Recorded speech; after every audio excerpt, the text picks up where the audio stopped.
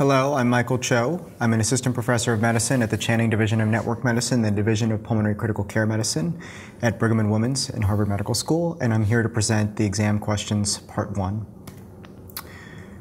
I have received grant support from GSK for research on COPD. Question one. A 70 year old woman is admitted to the hospital from home with pneumonia. Her symptoms include fever, cough productive of green sputum, dyspnea, and diarrhea. She is otherwise healthy and takes no medications. On physical exam, her temperature is 101.7 Fahrenheit, heart rate 66 beats per minute, respiratory rate 32 breaths per minute, and blood pressure 88 over 40 millimeters of mercury. Her oxygen saturation is 94% on 4 liters of oxygen by nasal cannula. Which of the following antibiotic regimens is the best choice for treating this patient? A. Azithromycin. B doxycycline, C, ceftriaxone and azithromycin, D, cefepime and vancomycin, or E, cefepime, vancomycin, and azithromycin.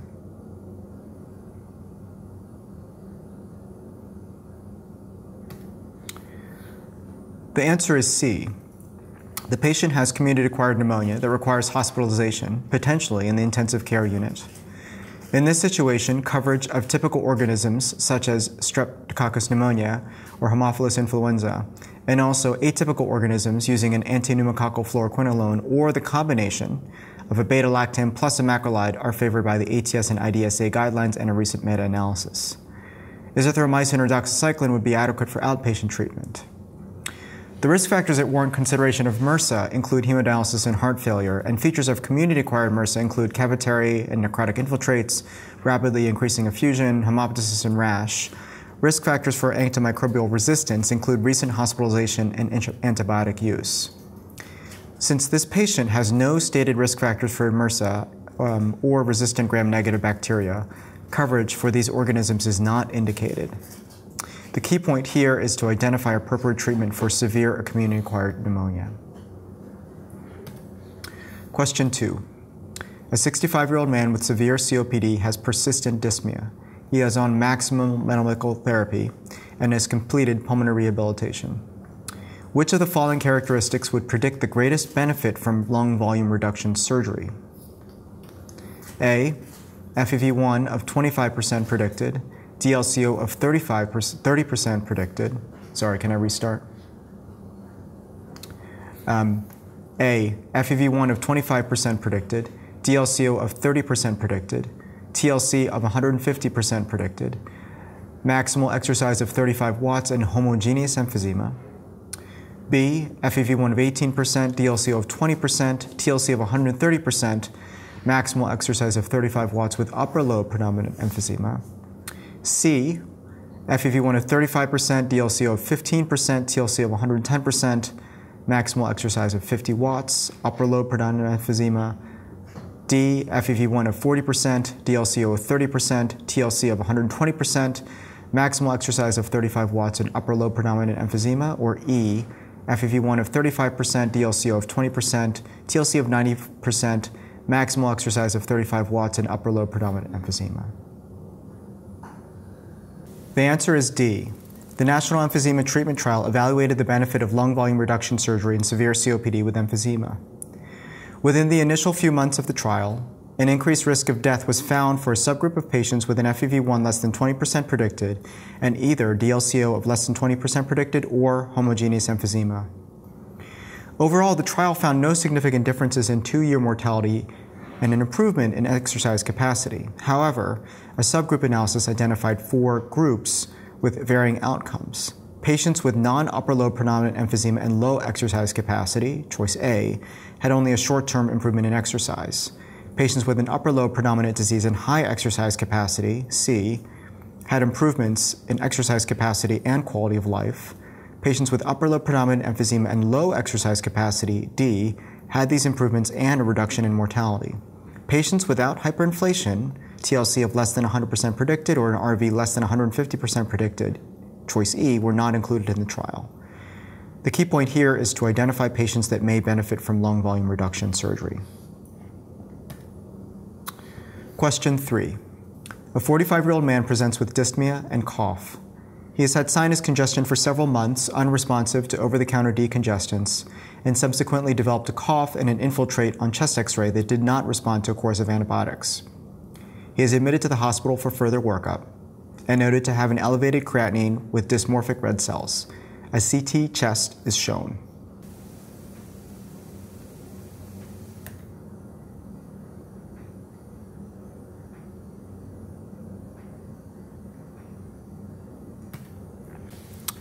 His renal failure progresses, and he subsequently develops hemoptysis and requires intubation for hypoxemia.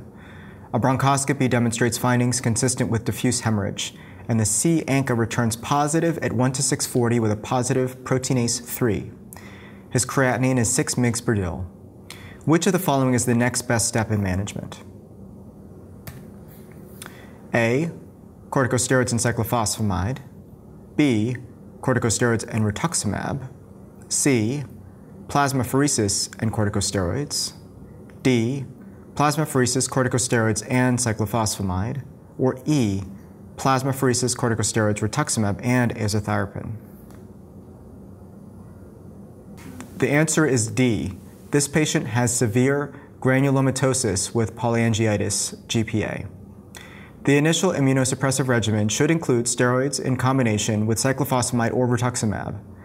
Neither agent has been demonstrated to be clearly superior to the other in clinical trials.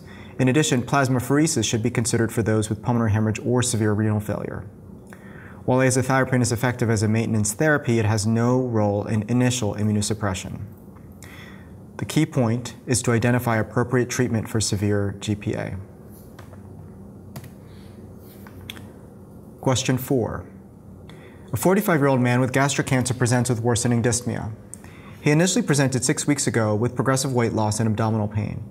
He was found to have a large gastric mass and extensive intra-abdominal disease. He was lost to follow-up.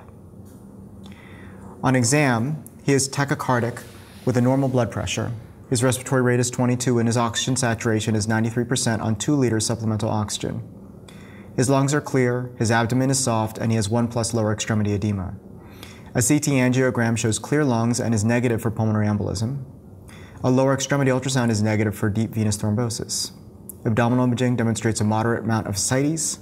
An echocardiogram demonstrates a dilated hypokinetic right ventricle and elevated pulmonary pressures. Which of the following therapies is most likely to address the etiology of his dyspnea?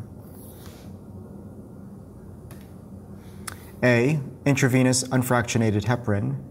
B. Low molecular weight heparin. C. Inferior vena cava filter. D, chemotherapy, and E, paracentesis.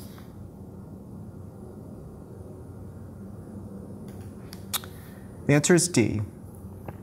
The presentation in this patient is most concerning for tumor emboli. Tumor emboli fall into several categories, including macroscopic disease, microscopic disease, and microvascular invasion. Tumor thrombotic microangiopathy is a related phenomenon. Microscopic tumor emboli, the most common presentation, has been reported in many malignancies, but appear to be the most common, sorry, but appears to be the most commonly due to adenocarcinomas of the breast and stomach. Patients often present with subacute dyspnea, though more rapid respiratory failure can be seen. A CT angiogram is insensitive for the diagnosis of tumor emboli. Ventilation perfusion scans may demonstrate small peripheral subsegmental defects.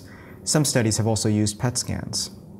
A definitive diagnosis can be made by lung biopsy showing tumor cells not contiguous with metastatic foci. Cytologic exam of an aspirate from a wedge pulmonary artery catheter may also be useful.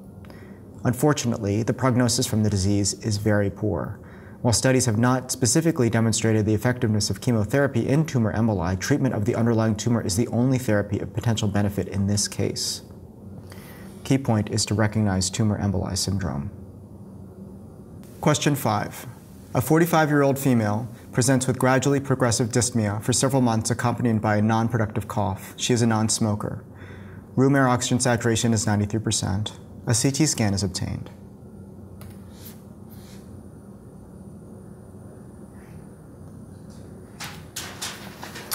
A sputum culture reveals a M avium complex. The patient undergoes bronchoscopy with transbronchial biopsy and bronchial alveolar lavage, which is also positive for M avium complex. The biopsy demonstrates alveoli filled with periodic acid Schiff PAS positive granular material. Which of the following treatment options is not likely to be considered during this patient's management? Choice A, whole lung lavage. B, treatment with GM-CSF. C, treatment with steroids. D, treatment for MAC based on culture sensitivities.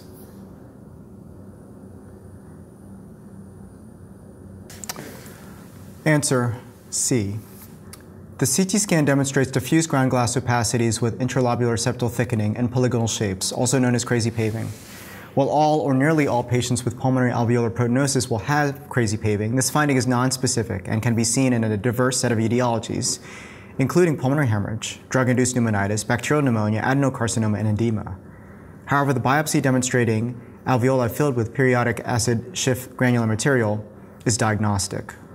Bronchial alveolar lavage and transbronchial biopsy are usually sufficient to obtain the diagnosis.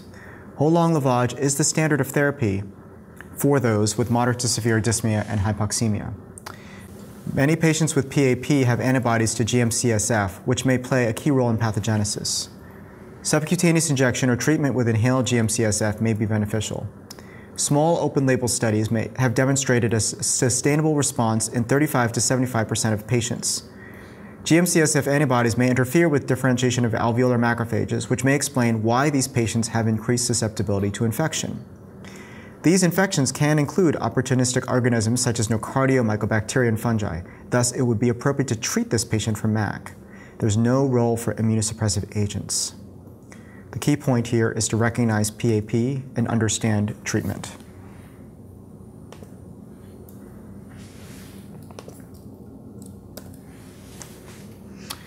Question six.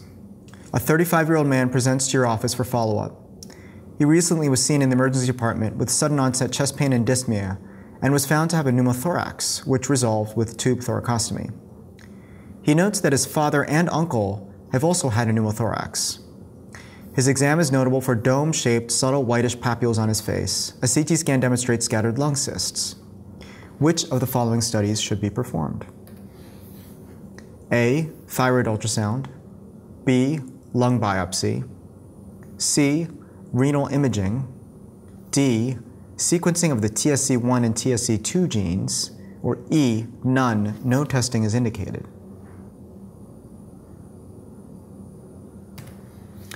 The answer is C. This patient most likely has Birt-Hogg-Dubé syndrome. Birt-Hogg-Dubé is characterized by pulmonary cysts and pneumothorax, fibrofolliculomas of the skin, and renal cancer. It is due to mutations in the folliculin gene and transmitted in an autosomal dominant fashion. Due to a markedly elevated risk of renal cancer, screening is recommended. The diagnosis of BHD is increasingly based on genetic testing. Skin lesions, at least one histologically confirmed, is consistent with BHD, as well as lung cysts, renal cancer, and family history are also considerations. A lung biopsy is more invasive than a skin biopsy, and findings can be nonspecific. Mutations in the TSC1 and TSC2 genes can result in tuberous sclerosis, which is associated with lymphangioleiomyomatosis, skin findings, and angiomyolipomas. However, LAM is almost exclusively seen in women. The skin lesions associated with TSC, hypomelanotic macules, angiofibromas, shagreen patch, are not seen in this case, and TSC is also associated with brain lesions, cognitive defects, and ophthalmic manifestations. Key point is to recognize Birt-Hogg-Dubé syndrome. Question 7. A 23 year old man presents to clinic to initiate care. He has a diagnosis of common variable immunodeficiency but has not been seen by a physician in nearly a year and is on no therapy. Quantitative immunoglobulins are ordered and confirm the diagnosis. CT scan demonstrates nodular ground glass opacities. Which of the following therapies is most likely to be of benefit? A. Corticosteroids. B. Immunoglobulin. C. Prophylactic antibiotics. Or D rituximab. The answer is B. CVID is characterized by impaired B cell differentiation and immunoglobulin production and is one of the most common immune deficiencies in adults. In some cases, specific genetic defects have been identified. In addition to recurrent bacterial infections, lung disease is common, and in addition to bronchiectasis, can include follicular bronchiolitis, lymphoid interstitial pneumonia, cryptogenic organizing pneumonia, and granulomatous interstitial lung disease or GLILD. Immunoglobulin is the primary treatment and reduces the number of pulmonary infections, use of antibiotics, and number of hospitalizations. It is also likely, particularly in higher doses, to improve progression in lung disease. Hematologic disorders are common in CVID, and corticosteroids and rituximab may be required, for example, for idiopathic thrombocytopenic purpura. Prophylactic antibiotics may be useful in a patient with recurrent or chronic infections and would not have the benefits of IVIG. The key point is to describe the potential benefits of IVIG for CVID. Question 8. A 29 year old female with rheumatoid arthritis is referred to pulmonary clinic after PPD testing revealed 5 millimeters of induration. Her rheumatologist is planning on starting a TNF alpha inhibitor. Which of the following treatment plans is appropriate? A. Isoniazid and rifapentine for three months. B. Rifampin or pyrazinamide daily for two months. C. Repeat PPD six months after initiation of TNF alpha inhibitor. D. Isoniazid weekly for six months. Or E. Isoniazid twice weekly for three months.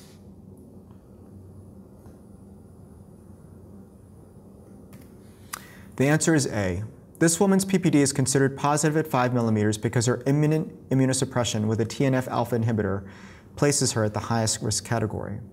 This category also includes HIV positive patients, recent contacts of active cases of pulmonary tuberculosis, and patients with evidence of old TB. Of the choices above, the best regimen is A, given weekly via directly observed therapy.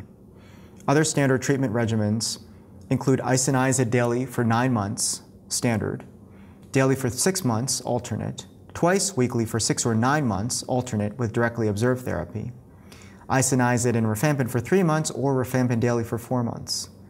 The combination of rifampin and pyrazinamide results in an increased risk of severe liver toxicity and death and is not recommended. The key point here is to know the guidelines for treatment of a positive PPD. Question 9. A 45 year old man with hepatitis C cirrhosis presents with dyspnea. He has a history of esophageal varices treated with banding. His dyspnea had been attributed to ascites, but his dyspnea persisted after management with paracentesis, furosemide, and spironolactone. He notes that his dyspnea improves when he is lying down. His vital signs are notable for an oxygen saturation of 89% on room air, while supine that improves while sitting. His exam is otherwise only remarkable for stigmata of cirrhosis, including extensive spider nevi. An EKG and chest x-ray are normal. Which of the following is true about his condition? A. CT angiography will show small arteriovenous malformations. B. Pulmonary vasodilators may be needed. C. Liver transplantation should be given a higher priority. D. Medical therapy stabilizes the course and is standard treatment. E. Supplemental oxygen is unlikely to improve his oxygenation. The answer is C. Respiratory disorders that occur concomitantly with liver disease include diseases that share a common underlying condition, for example, cystic fibrosis, alpha 1 antitrypsin deficiency, physiologic abnormalities, restriction from massive ascites, respiratory alkalosis, hepatic hydrothorax, portopulmonary hypertension, and hepatopulmonary syndrome. Hepatopulmonary syndrome is typically caused by intravascular pulmonary dilations or IVPDs, which are often basilar in location and result in the classic, though not pathognomonic, symptoms of platypnea and findings of ortho orthodeoxia. In contrast to true arterial venous malformations, IVPDs are microscopic and not seen on CT angiography and do not result in true shunt physiology. Diagnosis is typically by contrast enhanced echocardiogram. Portopulmonary hypertension is another important consideration in the setting of hypoxemia in a clear chest x-ray. However, it is not typically associated with platypnea and there are no secondary findings suggesting pulmonary hypertension. Liver transplantation is the only curative therapy and should be prioritized for patients with this condition. Small case reports have found variable and transient improvements with a variety of agents, but data is insufficient to support their use. The key point here is to recognize and manage hepatopulmonary syndrome.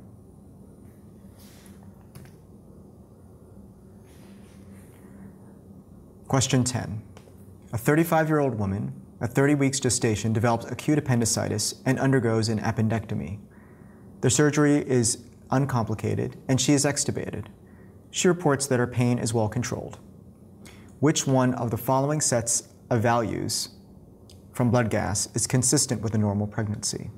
A, 7.33, 48, 90. B, 7.36, 44, and 106. C, 7.39, 41, and 104. D, 7.43, 31, and 100. Or E, 7.52, 25, and 85.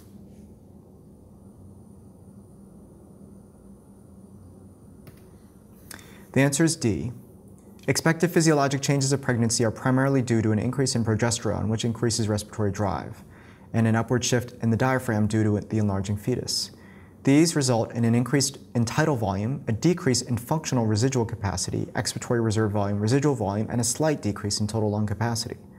Forced expiratory volume generally does not change. The PaCO2 in pregnancy generally decreases to approximately 30 millimeters of mercury, and with normal increase in bicarbonate excretion from the kidneys results in a mildly alkalemic pH generally between 7.4 to 7.45. The key point here is to recognize expected physiologic changes in pregnancy. Question 11.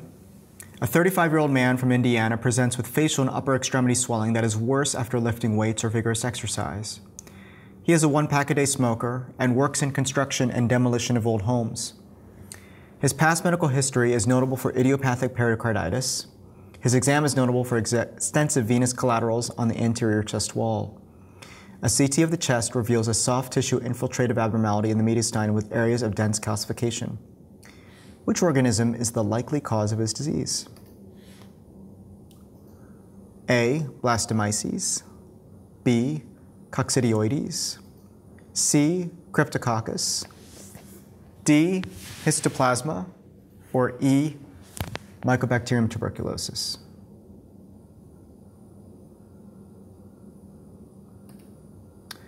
The answer is D.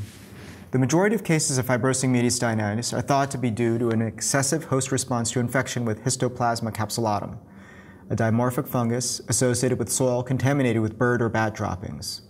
While most prevalent geographically in the Ohio and Mississippi River valleys, cases have been reported in other locations. Other less common etiologies include mediastinal radiation, infection with other organisms, including tuberculosis and blastomyces, and idiopathic cases. A biopsy is not required to confirm the diagnosis and carries a risk of hemorrhage. The key point here is to recognize the clinical presentation and etiology of fibrosing mediastinitis. Question 12. A 55 year old man presents with dyspnea. He has not seen a physician in several years. He is obese and a 40 pack year active smoker. His chest x ray demonstrates a moderate right sided pleural effusion. An ultrasound guided thoracentesis with pleural manometry is performed. His initial pleural pressure was negative 2 centimeters of water and decreases to negative 22 centimeters of water after 300 cc's of fluid is removed, at which point the patient reports some chest discomfort. The procedure is terminated. Fluid protein and LDH are consistent with a transudate. Cytology and microbiologic studies are negative. A chest CT scan demonstrates a thickened pleura and a hydropneumothorax. Which of the following diagnoses is most likely? A. Procedure-related pneumothorax. B. Trapped lung. C. Bronchopleural fistula. D. Lung entrapment. And E. Re-expansion pulmonary edema.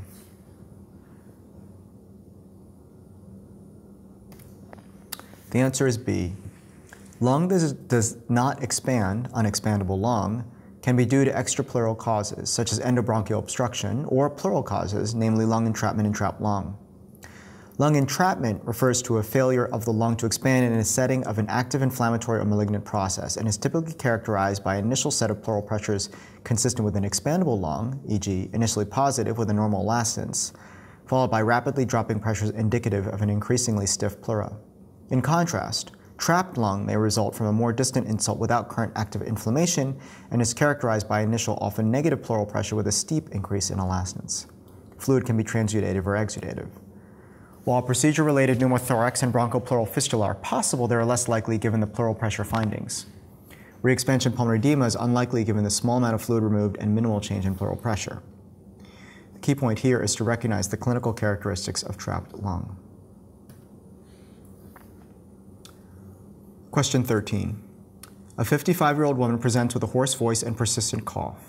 Two months ago, she presented with hemoptysis and a cavitary lung lesion and was diagnosed with tuberculosis and started on four drug therapy. Her hemoptysis and initial dyspnea improved. She's from China, has asthma and an anxiety disorder, and is an active smoker. Pulmonary function tests show the following. Which is the most likely diagnosis? A. Vocal cord dysfunction. B. Tracheal stenosis. C. Tracheomalacia. Or D. Tuberculoma.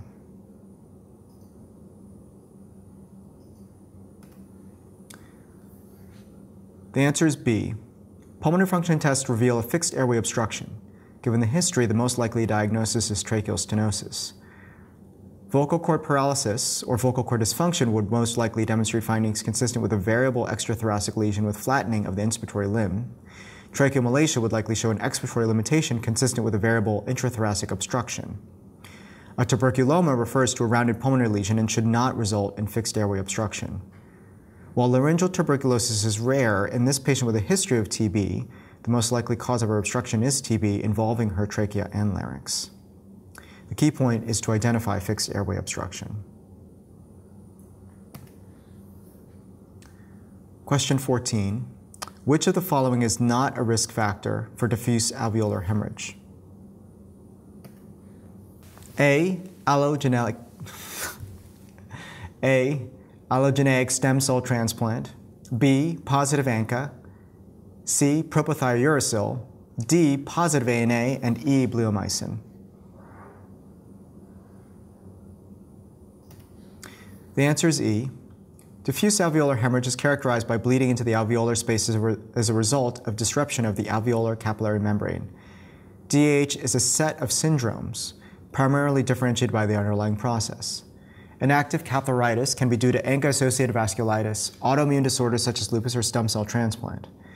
While DAH is more commonly associated with autologous transplants, allogeneic transplants are also a risk factor for DAH. Causes of bland hemorrhage include Goodpasture's syndrome and mitral stenosis. Finally, diffuse alveolar damage can also result in DAH. Several medications can result in DAH through one of the three mechanisms, one of these three mechanisms, including PTU, amiodarone, antiplatelet agents, and sirolimus. Bleomycin has been associated with fibrosis, but not with hemorrhage. The key point is to recognize etiologies of diffuse alveolar hemorrhage syndrome. Question 15. A 55 year old man is two years status post a single lung transplant for COPD. His history is notable for an episode of CMV pneumonitis three months post transplant and an episode of biopsy diagnosed acute rejection at four months. He suffers from significant reflux despite maximal medical therapy. He presents with progressive dyspnea over the past four months with an FEV1 that has dropped 30% from his best post transplant lung function. Which of the following does not represent a risk factor for the development of bronchiolitis obliterans syndrome, or BOS? A. CMV pneumonitis. B. Primary graft dysfunction. C. Gastroesophageal reflux disease. D acute rejection, or E, COPD.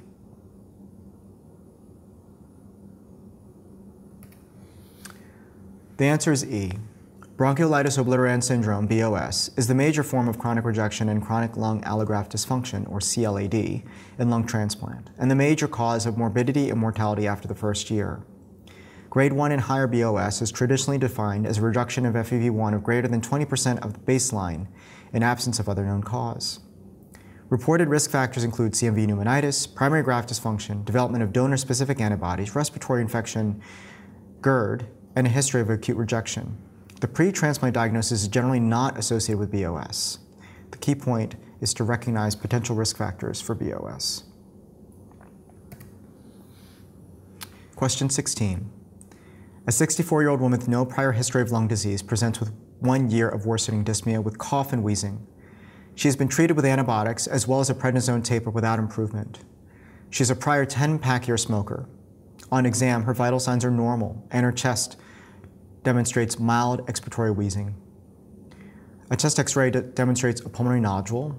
A CT scan identifies a lesion and bronchoscopic biopsy is consistent with carcinoid. Which of the following statements is true?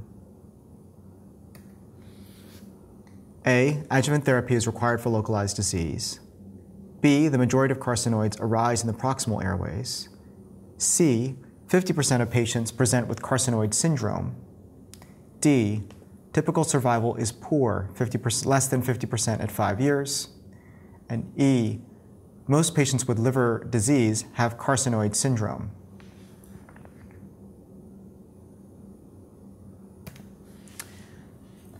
The answer is B. Most carcinoids, a term used to denote well-differentiated neuroendocrine tumors, or NETs, are relatively centrally located. A minority present as a peripheral pulmonary nodule. The vast majority are typical, do not recur, and are associated with excellent overall survival of 90%. Wheezing, cough, and hemoptysis are common presentations, although approximately 30% are asymptomatic. Surgical resection offers the best chance for cure. Adjuvant therapy may be needed for histologically aggressive or residual disease. Locally advanced disease is poorly responsive to chemotherapy or radiation. Carcinoid syndrome is uncommon even in the presence of metastatic disease, but can occur. Rarely, bronchial carcinoids can produce ACTH or GHRH. The key point here is to know the presentation of carcinoid tumors.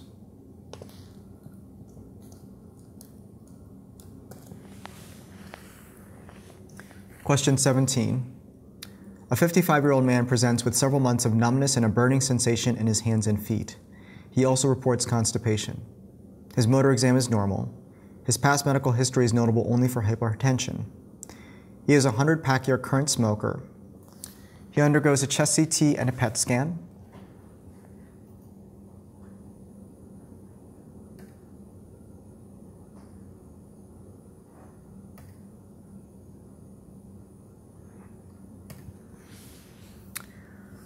Which of the following is correct regarding his diagnosis?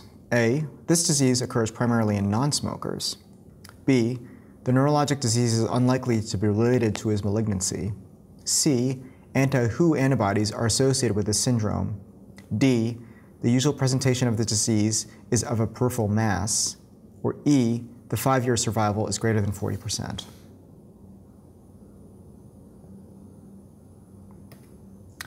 The answer is C. The CT and PET scans demonstrate PET-positive right hilar and subcarinal lymph nodes without parenchymal abnormalities.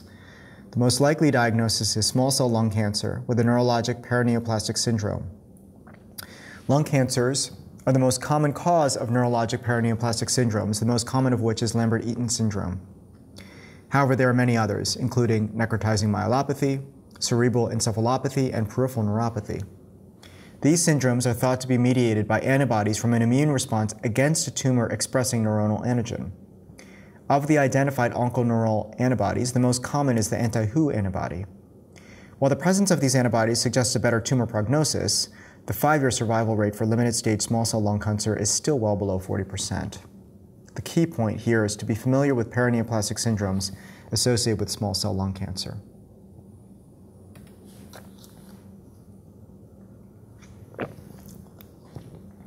Question 18.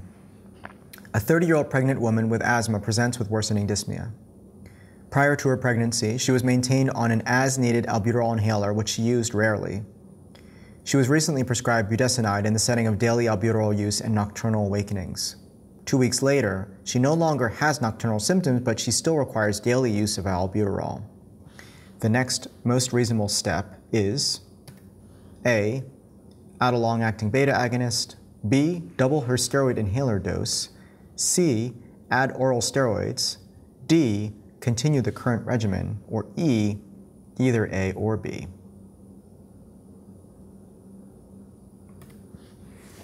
The answer is E. Pregnant women with symptoms at least two days a week require controller therapy for their asthma. The initial medication of choice is a low dose inhaled glucocorticoid.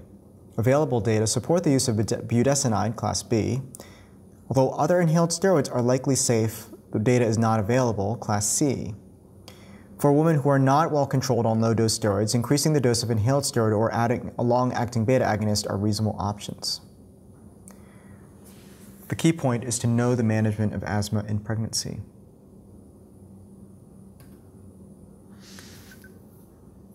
Question 19. A 22 year old woman with cystic fibrosis presents to your clinic.